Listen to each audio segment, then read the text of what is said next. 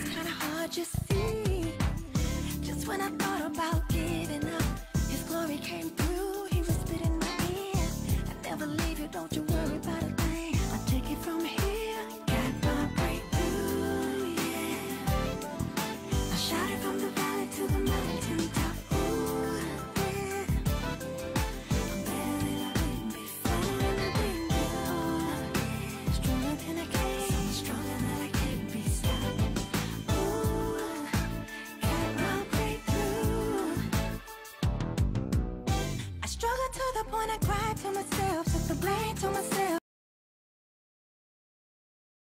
All right, God bless you today, Southwest Louisiana, and those that are watching in different parts of the country and around the world. This is Bishop Albert Thompson, Senior Pastor of the He is Risen World Outreach Ministry here in the city of Lafayette, Louisiana. I tell you, God is good, and He's good all the time. Uh, we're just excited, excited, excited about today's show. Listen, if you want to uh, reach out to us, why don't you reach out to us? Uh, email me at bishopalbert at outlook.com. That's bishopalbert at outlook.com. All right.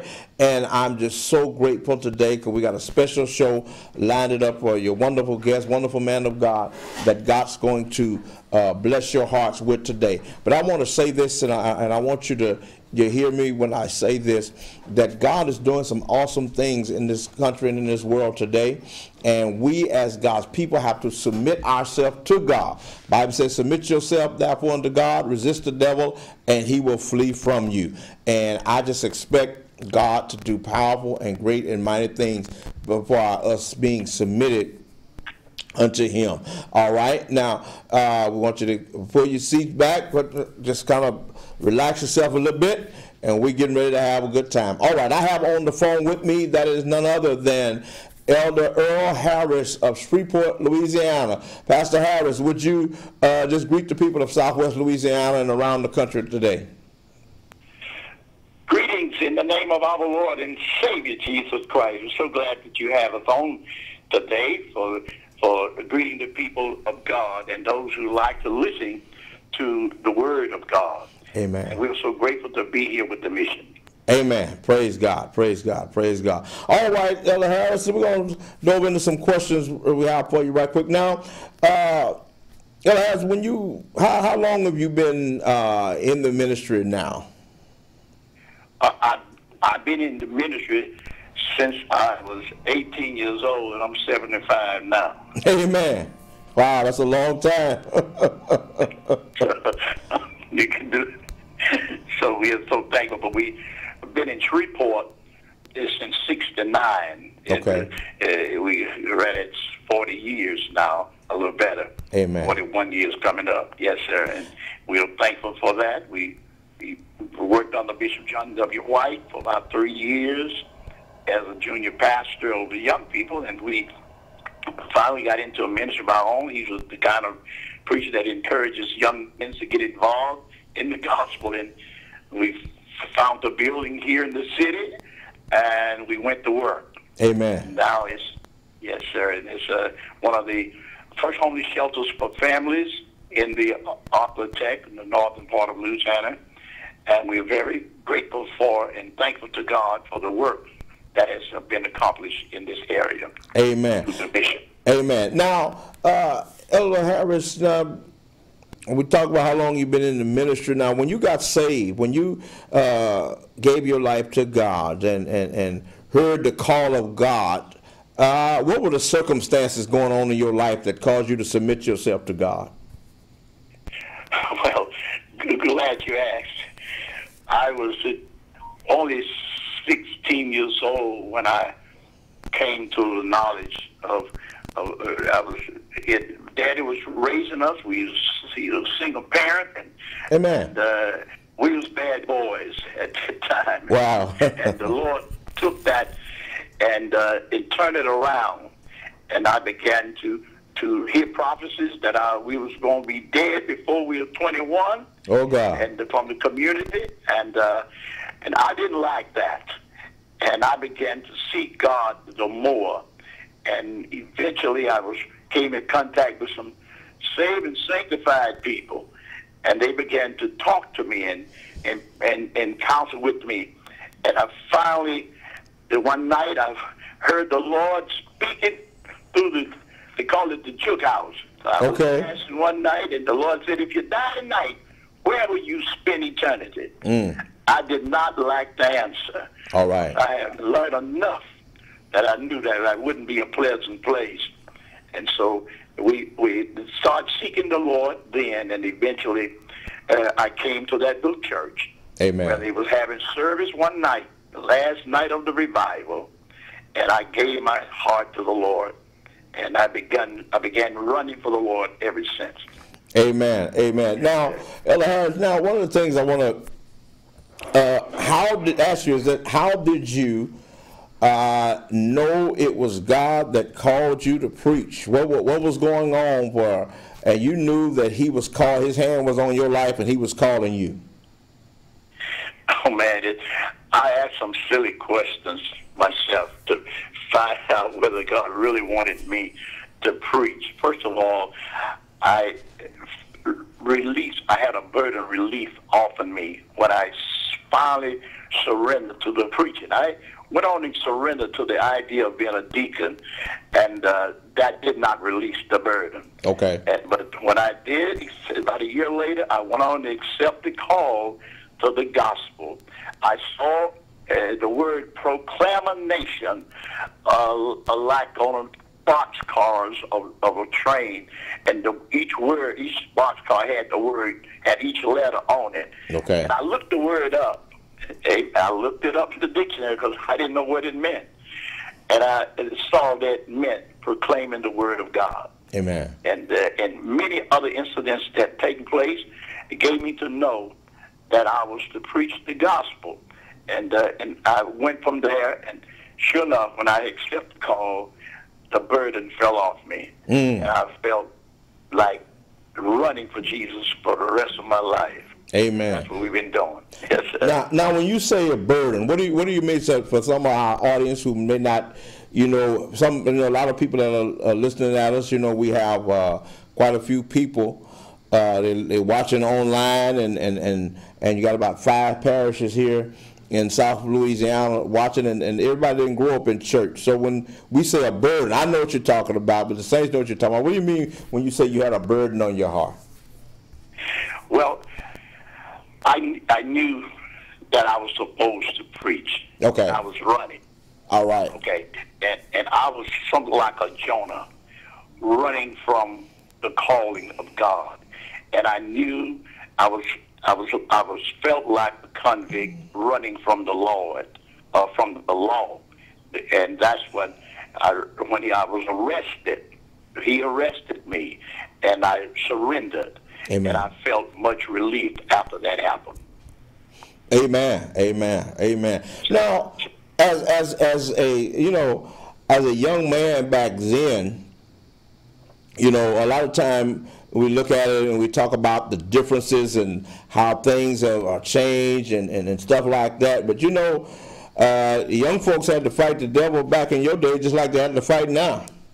You know, and I think a lot of the young people don't think the older people understand what it is to fight the devil. You know, they thought everybody else was thought we was born saved, but that wasn't that wasn't the, that wasn't the case. You know, explain how you know being young back during those days, uh, and you know you had to walk away from friends and all kinds of stuff.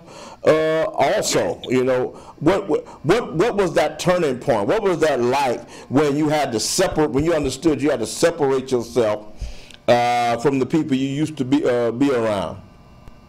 Well, Bishop Thomas, it was quite an unusual uh, experience.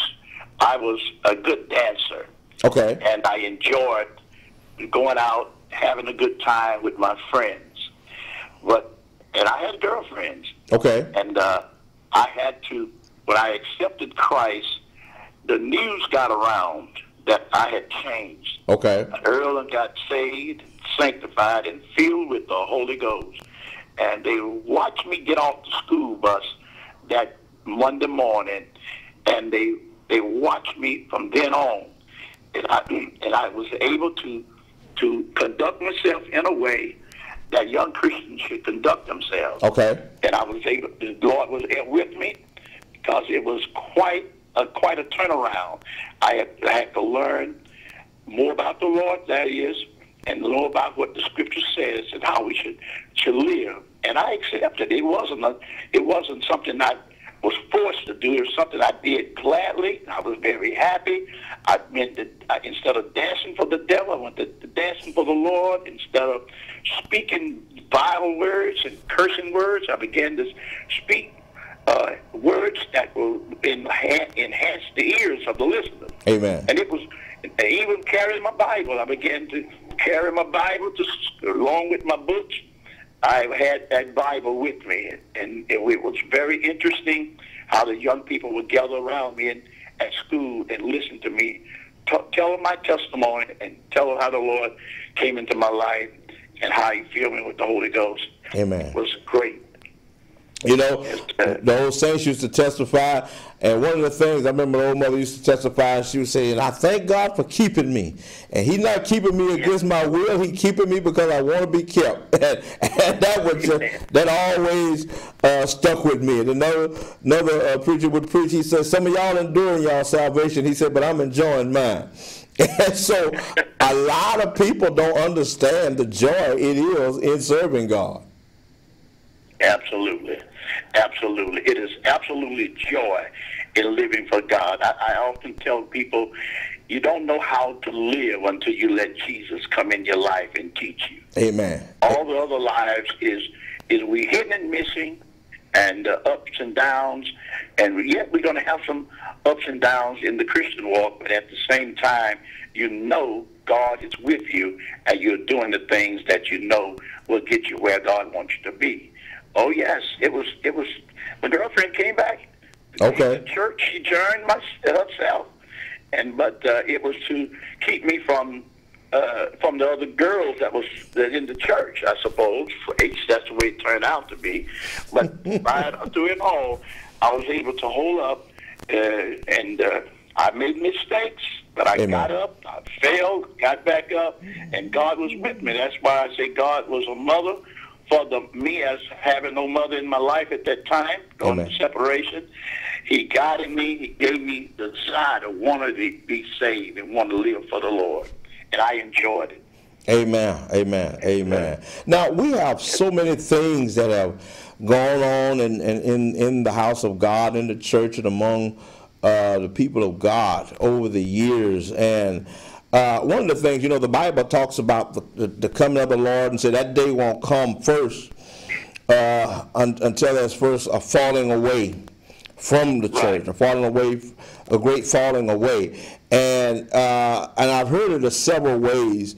And and one of the ways I've heard it is it don't mean a geographical falling away like people not coming to church, but it means um, people falling away from the things of God.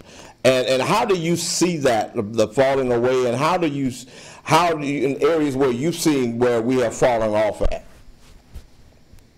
Well, Bishop Thompson, it has been quite a change in so many people's lives. There have been falling away, yes, because some of it is based upon just not knowing how to deal with the newcomers or how to go out and encourage people uh, ent- or entice them to want to be a part of the, the body of Christ. Amen. People tend to be more relaxed at church has always been this your regular coming together on the weekend and having a good time and going back to the same thing Monday morning. Amen. But we, we there's a falling away in the area of people becoming more traditional minded Okay. rather than heavenly minded Okay. or spiritual minded. Whereas we saw we, we read about the the problems Jesus had with the religious people at that time. We are having some of the same problems today. It, we so set with traditions and the ways of doing things the way it's been done until we don't want to find how to really reach that millennial group, how to reach those young people, Amen. how to reach those lost people in a way to go where they are, sit where they sit, eat along with them, talk along with them, and listen to them and find out what it is that they really want. In other words, mission has been a big letdown, especially among uh, my group. Amen. It's been a big letdown, and we don't. We seem like missions were supposed to be for a certain part of the body of Christ. Amen. Whereas the simple statement is, Jesus told us to go into all the world and Amen. preach the gospel. He was talking to everybody Yeah. and to every creature, and that's where we have been a great falling away, and and the people are hurting because they are not getting the salt that the, the church is supposed to be giving. We're not getting the light that the church supposed to be shining, and we're not getting the help that the people that the church supposed to be giving the lost world. We need love more than anything else. There has been a great falling away since the time I got saved up now in the love area. Amen. Amen. Well, you know, the Bible says the uh, uh, uh, iniquity shall abound because the love of many is waxed cold. Is it because of the love of self? Is it because of the love of things? What what do you feel has you know contributed to that lack of love uh, in the body? yes, well, it's some of all, some of all of the above. See, we, when we become so wrapped up in ourselves and and wrapped up in the things of the world, when I speak of the things of the world, the things that Christians uh, should not be involved in so much. Amen. The uh, the sin walk of life, the the uh, covetousness, the envious, the the jealousy, the impatient, and the and the hatred. All of those types of things it doesn't match the church. It doesn't line up with God's way, God's will, nor His word. Amen. Amen. And these are the areas that has been a great falling away. Seeing instead of people of God wanting to be a light for the world to follow after, or be the example the world should follow after, it seems like they're going after the way the world is going more than the world going the way they should be going. We should be an example. And you know, it's something I really paid paid attention to, Pastor, because you know, so many are adapting, just adapting to the to the world. They're adapting to, uh, and and you know, we understand that you know through technology and other things that methods may change, but the message and the standard is not to change, and it's it's like uh, we must be like uh, the world. I, I, I heard, you know, one uh, singer, I, uh, Fred Hammond, and he was saying, a lot of times you have to be careful when people saying, well, this is my ministry. And he said, a lot of time it has nothing to do with ministry. A lot of time they're just doing what they want to do and putting ministry on it to validate it Yes.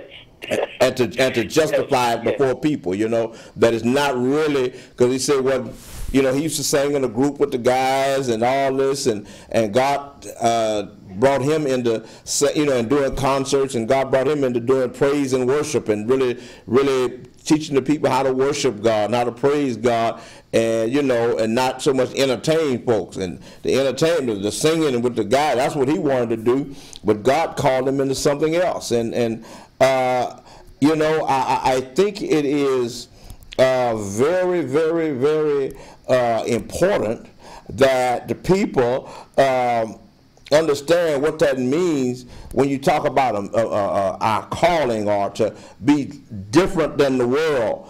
You know, wh- what does that mean? I, I'm, I must be different than the world. What needs to be different? Well, our life needs to be different.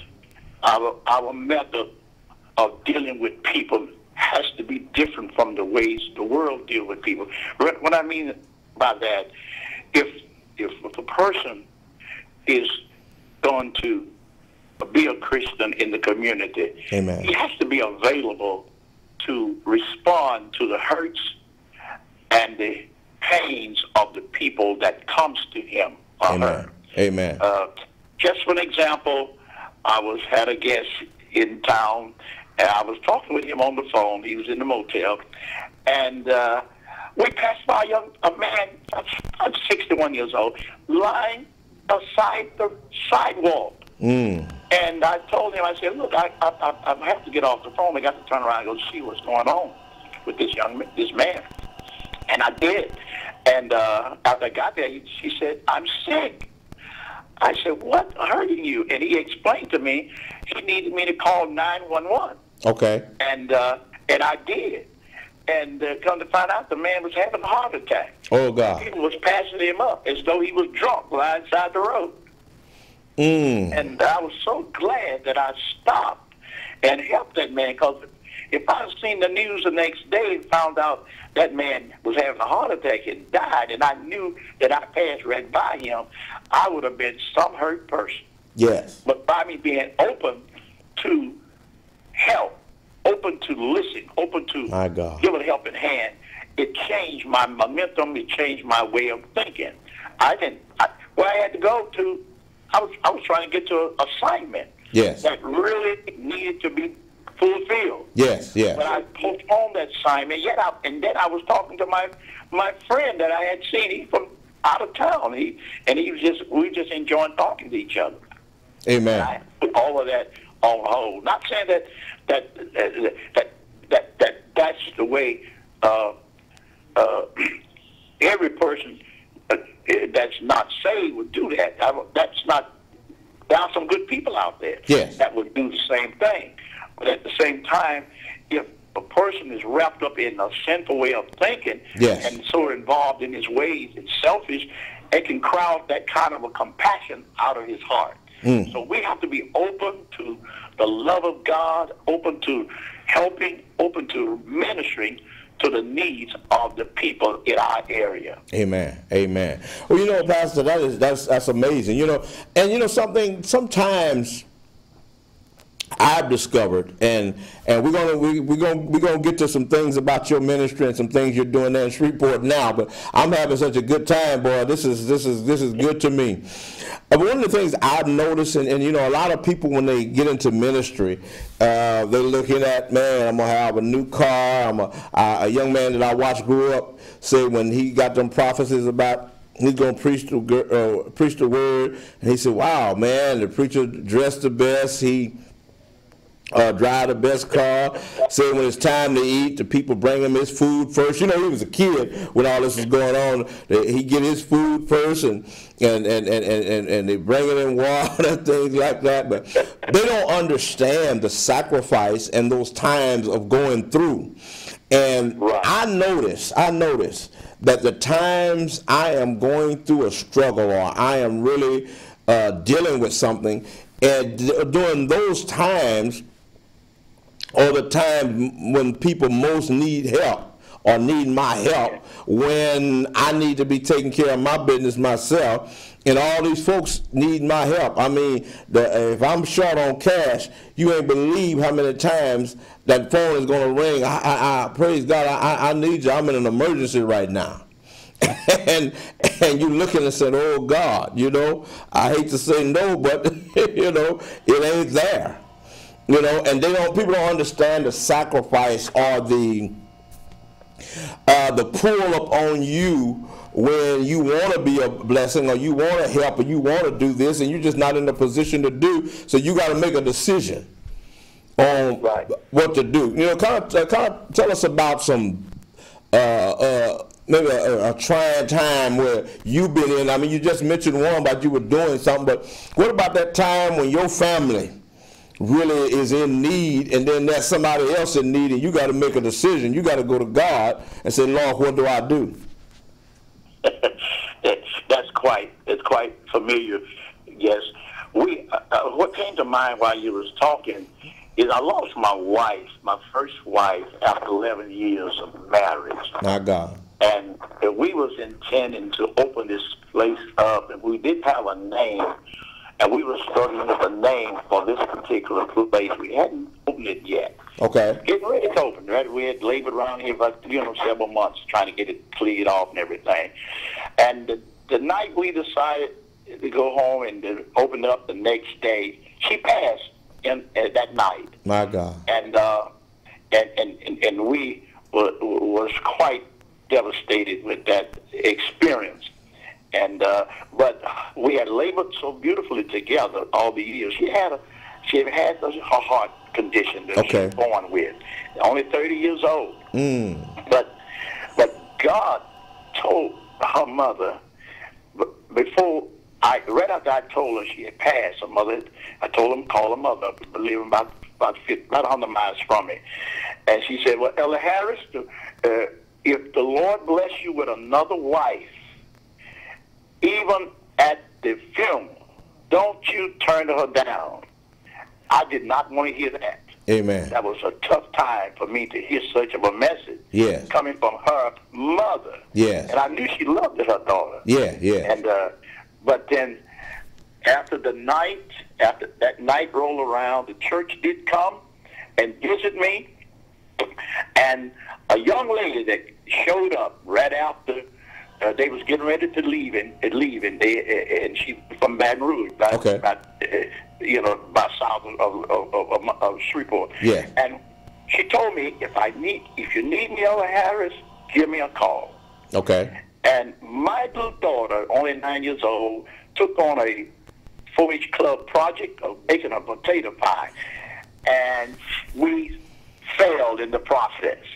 After all the ingredients and we salt around to, to get to get it done, and so I had to call her, and I called the missionary, and she gave me her number, and she began to work with me. And had, we had done buried my wife, had the funeral and everything, and about 15 other children had joined the mission. Okay. Because they liked it, the little setup and everything, right, right before Christmas. And my wife now came over under the leading of God and began to work with me and these children. And uh, and I just did not want to uh, words to be spoken against me and married so quick. But after I heard my grand my, my mother-in-law voice, and uh, and and she must have seen this was going to happen. Okay. And my and then my wife had told me that I was going to have more children, and I didn't understand that. Okay. She- But then we went on, kept working together. She kept looking, kept doing good things around us, and I went. We went on and made it up to get married. And Amen. we married about around three or four months after my wife had passed. Okay. And sh- definitely we had, it worked out. It's, it's 40 years. We celebrated our 40th anniversary this past Sunday. Amen. Five one young, wonderful young men have been added to our family, and they are all doing well. They grew up in this mission Amen. and that's that's all they know. And they was laughed at, poked fun at for growing up in a mission, but now uh, we are blessed with grandchildren that were great, grew grew up here, and they we had to have we had Bible study practice every evening, and we prayed and we helped other people. They have seen other people come in and live here with us. And uh, we was different. It was quite a different experience. They talks about that today. And so we took a bad situation and Amen. let God turn it into a beautiful situation. And so we we have been challenged many ways and many times. The bills have been paid. We have not had to sit out on the streets not one night Amen. the Lord has been blessing us ever since. But we do have other responsibilities we do need to do. We have buildings we haven't started working on yet. We have land we haven't begun to produce yet. Uh, uh, uh, see any production coming from it. That's why we need funds. We need more than what we're getting coming in now in order to take care. We have other ministers, uh, young men coming out of prison that needs our help. We we have people calling on us from different areas now, and that's why we went on and let the Lord put crime-free community revivals on every Monday, Tuesday, and Wednesday. We have crime-free community revivals, and I guess people, a lot of people think we're crazy for doing that, but the Lord told me to do it. Okay. And uh, and and so we're doing that every week, and we're looking for people who will want to come in and volunteer in Holy Kingdom uh, building ministry. Amen. Help our community become that crime free. I know it seems to be obvious to say crime free community as mean and hateful as people are today, but the Lord say crime free community. Amen. And, and his people are, are not criminals. We are, we may be looked upon as criminals because we we doing crazy things, but after all said and done, God's people are not violent people. God's Yeah. people are not criminals. And if we could get criminals converted to Christ, Yes. we would have done a great thing. We get sinners converted to being Christian, we would have done a great thing. One sinner causes that repentance causes angels to rejoice in heaven. And that's what we're trying to do. We want angels to stay rejoicing in heaven. Amen. Amen. Now, and, and now, and as the Lord begin to give that to you to have a mission and not just a traditional ministry or traditional church, you know, how how was that? How did God give that to you? Well, the Lord gave that to me in the early emphasis. He put that in my heart very early, even when I was in military. When I came out of military, came to Shreveport, uh, I worked very hard while I was in the military as a minister. And I, when, I, when I told my wife, the Lord is telling me to go back home to America and work on the ghettos, work on the people that needs help, work on the, the, the down and trod people and encourage them. Just like America went over in Germany and uh, had that war in World War II and uh, went back and rebuilt Germany and made it look so beautiful, I thought about the ghettos in our country and how so neglected they are in many cases, in many ways. And and that burden fell on me, and uh, I landed here in in the in this area where right next door to uh, I guess you say a hundred uh, a project that housed hundred families. Okay. And, uh, we we we just opened right across the streets from them. We just opened up and went went to work. God made a way for us, and uh, we need we need all kind of system. It's quite natural. It's not a traditional way of church, preach, preacher does things in terms of church work, but God gave it to me to do it, and Amen. it's, it's been it's been quite a blessing, quite Amen. a blessing to knowing that we are helping somebody. Yeah, I guess wow, the, the people I help look like from because of the joy that comes from helping others. Amen. Yeah. Amen. Now, now, Elder, you know we we're there. That is that is wonderful. That is that is that is that is uh, wonderful. That is dedication. And so uh, now, let, let me let, ask you a little bit more about it now. You say uh, your crime-free revivals. You have those every week, or Yes, sir. Okay, Yes, sir. Monday, Tuesday, and Wednesday. Monday, Tuesday, and Wednesday. Okay, okay. Now, Saturday and Sunday, we out on the field. Okay, so kind of explain that to us. You have you have somebody come in and preach, or you preach Monday, Tuesday, and Wednesday, and then you go out and and and and, and soul win. How how does that go? How does that work? Right. Oh yes. On uh, on on Sundays, we uh we open at 7:30 a.m. and uh, we have our holy training for about 30 minutes, and then we following that is a crime-free service. We do services and encouraging people that normally wouldn't go to church, encouraging them to get involved as much as we possibly can.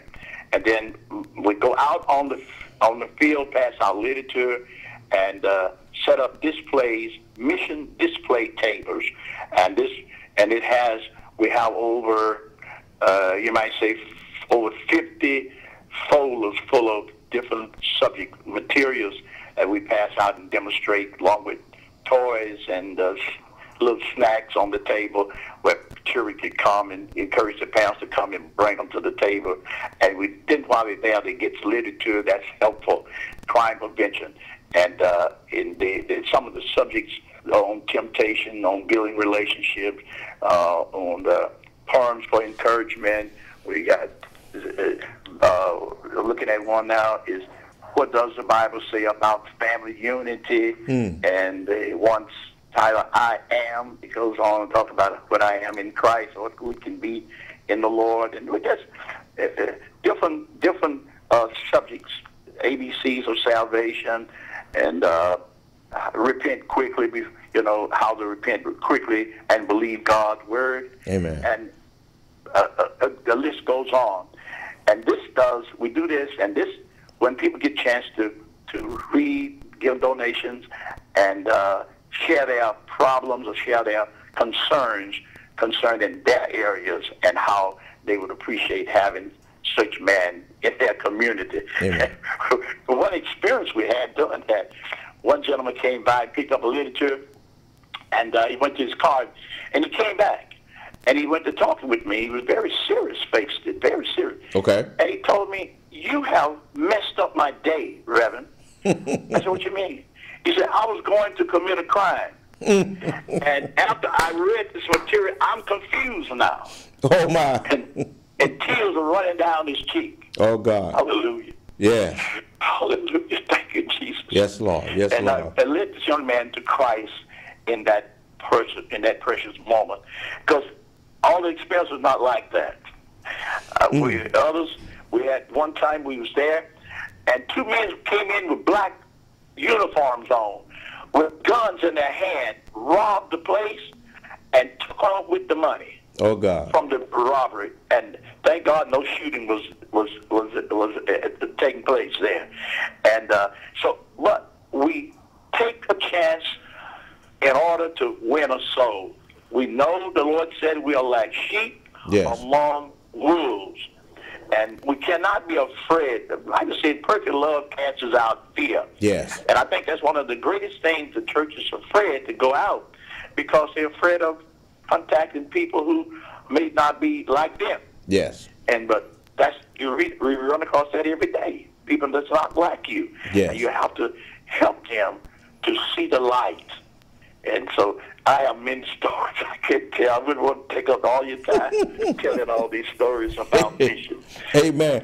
Now, I, I, I, that was very interesting, uh, especially you know around the Opelousas area and in the Lafayette area. Uh, there is a lot of crime. There's a lot of, uh, uh, I believe, over in Opelousas they had um, four or five stores on the same street. Each night, one of them would get robbed. I mean, and they were close to each other, and so uh, you know, I, I, I just, uh, you know, this that's something that that happens. You know, I have a, uh, a couple of pastor friends that's actually police officers also, and uh, they've told me that. And I remember one of them told me says his police training taught him some things, and it was uh, in the middle of July, and it was hot, and you know how hot it is in here in Louisiana uh, during July, and he says that the man, man came in there hot as it was with a with a uh, overcoat on, with a trench coat. So he said he knew something was about to try to transpire. So, uh, you know, and, and those are risks, you know, a lot of time that, that, that we run in in working for ministry, but those are the people we're trying to get saved. Jesus said, they that are whole need not a physician. Absolutely. And, and, and sometimes we confuse ministry with ambition. you know, uh, I, I was so I was just so blessed by the testimony you gave earlier. Uh, it's like uh, we we hear about it all the time about the Good Samaritan and how you know the the, the, the priest and the Levite passed him by, and the Samaritan was the one that stopped to help the man. There are people that need help. And I, I, I, one of the things I see is that we're mostly interested in being around people uh, that, uh, or we're not interested in being around people that actually need our help. We, we, we, we want to be in a we want to be in a social club rather than ministry. And I think that's I think that's dangerous. I think that's a dangerous uh, mindset to be. I you know I look back to when my father passed when I was 12, and I had all those people at the funeral uh, saying great things about my father. I can't remember any of them just walking up to me afterwards asking me how I was doing. you know, and I, and I you know as a 12 year I was devastated. You know, uh, I, I, you know, I remember my father getting uh, on his knees praying, and I'd get out, I'd pray with him, and you know, I, that was, he was such, he was so important to me, and but I, I can't remember somebody just, you know, now they would, if I did something wrong, they was all over me. You need to stop doing that. Why you doing that? You don't have no business doing that. But you know, I don't remember nobody come and say, just how you feeling, how you doing, Right. and, and, and so, Right. But how did we how did we lose that? Did we lose that did the preacher stop preaching on it and, and, and, and that brought the con- and stop bringing that type of conviction to the church? How did we lose that? Uh, uh, Bishop, we must come to, to grips with the idea we are living in the last days. Amen. The Bible did say the, the love of many will wax cold. But he also says he's going to pour out his spirit on all flesh, and your sons and daughters shall prophesy. Hallelujah. God. Yes, yes. And, and, and we'll, when we think about the crucial hours that we're living in, we also have to think about the blessings that comes with the problems. So what, what we have to do, instead of the problem squeezing the life out of us, we have to squeeze the life out of the problems and see the glory of God that comes out of them. And that's what Jesus did. Instead of him bickering and crying about people slapping on him and spitting on him and and, he, and, and, and putting the crown on him, he robbed that experience to go on and do what he came to do and not lose focus on Calvary. Mm. Because he knew if he made it to Calvary mm. and they they stick him in the ground and put him and nail the nails on him and lift him up, hallelujah, he's gonna draw all men unto him. Amen. Amen. And so, so we have to look at our problems as fire that purges us and make us better. And, and this is the good news. We need to carry it to the streets and, uh, and let the people who are hurting know that you're not hurting alone. But there's a purpose for your life, and there's a reason for God putting you in this earth. And He could have made a dog, He could have made a frog, He could have made anything, but He decided to make you, and you are special. Hey, glory. we got to we got to make them understand that because I tell them that I often tell my children when they done start going to sleep on me, the Lord give me the Lord give me something to say. And let them know that 50 million sperms left your father. I don't care who he was. Whoever your father was, it entered into your mother's womb, and only one of them got her pregnant, and that's you. And that means you're one out of 50 million. Yes, and yes. Listen up, listen up, and listen. Let me tell you how to become that, that joint that God, let that joint come alive in you that God had put in you. You are genius. You are something remarkable. And uh, and they, they, you can see them start sitting up straight in their seat. so we have to reach the hurting. We have to let them know that they're not alone and that somebody cares for them. That's why it's good to always have something to help people with. Yes. And that's why missionaries are not only needed in Africa and the third world countries, and, the, they are also needed on the streets of America. Yes, yes, yes, yes. And now, uh, how have you, over the years, uh, how have you balanced uh, your ministry and your marriage, or your ministry and your family? that's a good question. Because it can, it can, it can, it can, it can really be a challenge sometimes. Uh, yes, sir. Yes, sir. This is why the Lord had to send me a wife. Amen. and uh, and the other women, the first ladies, uh, they really they really kind of frowns at on my wife sometimes because she always in mission. She glad to cook for people that come to the mission. She glad to go out with me to help me with the mission setup. And she, she oh, she just she's. In other words, she's an angel Amen. that came into my life, and so it has worked out real well. Now I have gotten some slack from my children Okay. and that after they grew up, they didn't get all get saved, and they become very bitter towards what dad is, and mom is doing. Why y'all do this? Why y'all bring us here? Why y'all why y'all put us raise us up in a mission? And my oldest son is very hard on me about that one. And but then at the, at the end of the day, he tells me, Dad, I'm so glad you brought us up to where you did. because the trials that we're going through, if it had not been for you and that mission can and talking about mission to minister to the whole man, mentally, social, physical, and spiritual, said I wouldn't be a supervisor today on my job. Amen. All right. All right. Amen. because he takes that and go on. And I, I I'm, I'm so grateful for the good results that we have here. And uh, we, I, I had to get my son to the hospital once, and he had you know had had a, a, a problem with with uh, his uh, in his body, and I saw a young man that had once been at this mission. Mm-hmm. He was being marched down the hall by police on each side of him, chains around his legs, handcuffed on, and he hollered out to me, Elder Harris, this is me. He called his name out, and I recognized who he was. Mm. And he says to me, they got me this time, Elder Harris. I said, what you mean, Ron? He says, me and my friends that I listened to, that laughed at me when I was working with you in the garden across the streets from the mission. And they shamed me out from working with you. And I end up going with them to rob a store. Mm. And the lady reached for a gun, and I beat her to it, and she didn't survive. Oh God. I said, Lord, I just dropped down in tears for him. And that was one of the tragic things I, I've heard coming from some of the Mm. children. But I couldn't God. holler to him. He was reared in a broken family, and uh, and I had been having some problems with him. Okay. And uh, he wouldn't wouldn't come as regular as he should have come to help with the to, for me to help him out. So what it is, people really need somebody to mentor them. Yes. Fatherless children are hurting. M- uh, widows are hurting.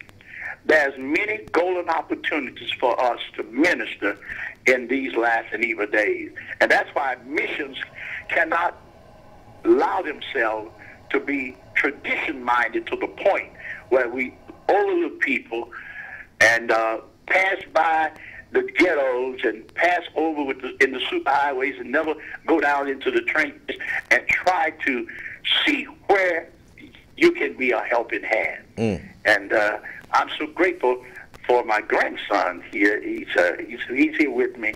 I told him I wanted him to come and and uh, give his testimony. He he, he has some rough experiences, and uh, if you could allow him a few moments, and uh, he can uh, can give him at least two or three minutes. Yeah, sure, sure, Uh, sure. he's here. Okay, his name is Minister Matthew Collier. Amen. Uh, he's my one of my dear grandsons. He's the one that that uh, ha- ha- grew grew up here in the mission. So Okay. God bless you, Matt. Hello. God bless you. How you doing? I'm doing all right. Amen. Just give us a couple of minutes of your testimony there. Yes, sir. Uh, well, as as my granddaddy was saying, mission is all I know. I was raised in it, uh, reared in it. This is pretty much all I know. Um, you know, and my mom sort of kind of strayed away, but um, you know, so we we were exposed to a lot of different things, and uh, one of the things that we were um, were exposed to, you know, was was growing up and just dealing with, you know, um, the projects and just dealing with drugs and just so much other stuff. And um, you know, we we end up going to foster care and just um, facing several different challenges in our lifestyle. Um, and then when I reached adulthood, I had a daughter. Uh, my daughter was murdered in 2011 Oh God. uh, at 10 months old. And the following year, I became incarcerated uh, from accusations from the person who killed her, which was her sister-in-law. Well, my sister-in-law, uh, her aunt, um, ended up spending five years in prison. And this past August, um, I was released. And to tell you just about uh, faith, um, you know, the Bible says those who desire to live a godly life will face persecution. So I said Yeah. my innocence, but beyond all of that, uh, the, the, things that I put in my mouth and, and into my spirit during my incarceration, I've seen them come to pass. And having a grandfather who has always taught us how to work, work, work, I didn't come home with the mindset that I was going to work for anybody. Uh, so I came home, and, and you know, others would, oh yeah, that's just jailhouse talk. Well, what people got to understand about me is that I had God before jail, I had God during jail, Yes. and I took God with me outside of jail. Amen. So today, seven months later, I have my food trailer. Um, man, we're doing some awesome things with the food trailer, and, and and to do five years in prison, come out a convicted young black man. I'm only 25 years old. I'll be 26 next month, and to have my own business, it's a testimony of what God can do, and it's also a testimony of what a praying family can do. Yes. So, uh, man, whoever's listening and just wherever this may be broadcasted, it doesn't matter about where you come from. It's, it matters where you're going. Yes. You know, we face a lot of things in our life, but we got to understand um, that, that that that it all works together. As the Bible tells us, it all works together for our good. So ultimately, man, just my encouragement is that if we will have people would get involved, we can stop this recidivism and we can stop young blacks, and not just even young blacks anymore. We can stop young men, young uh, uh, uh, children from entering into the system. Yes. And even for those who slip through the cracks and go to the system, we as believers, I believe, uh, need to step up and really get involved uh, so that they won't go back.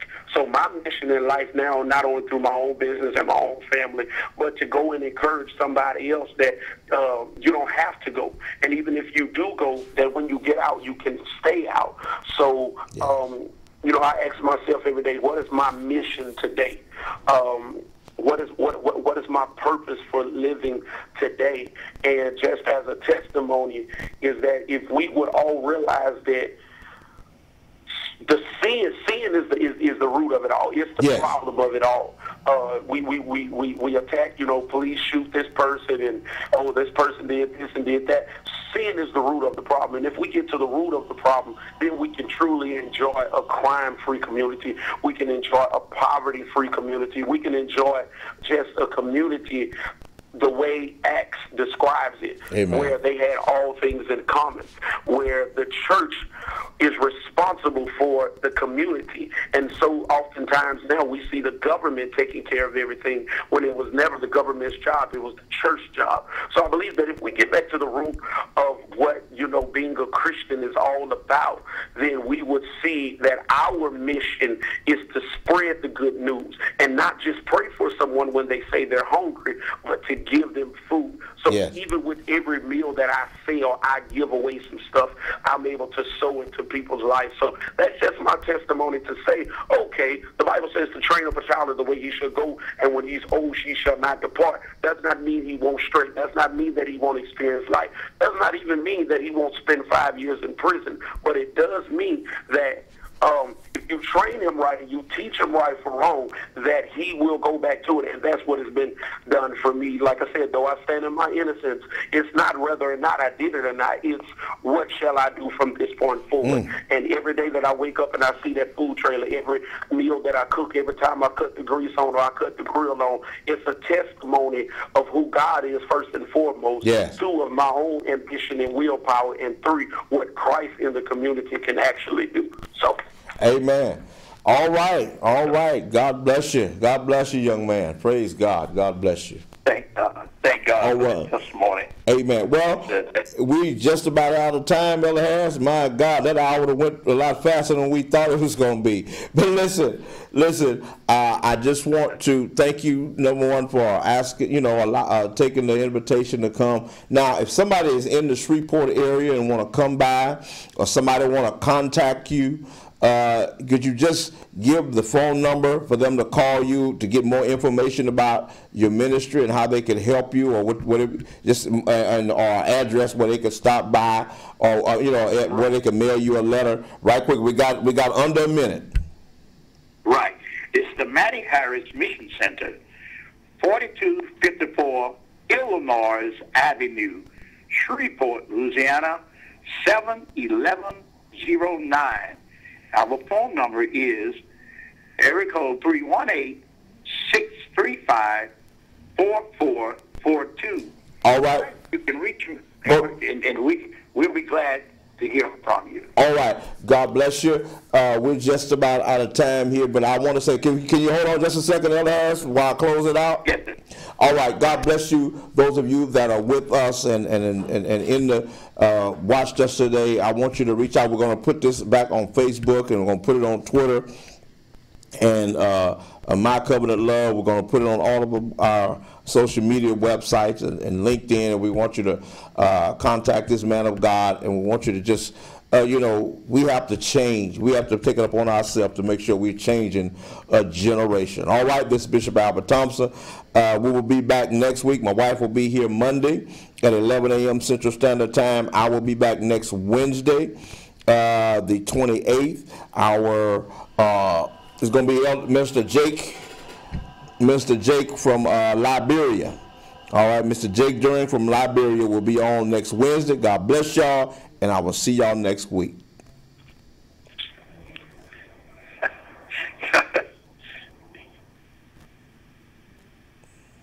Praise the Lord.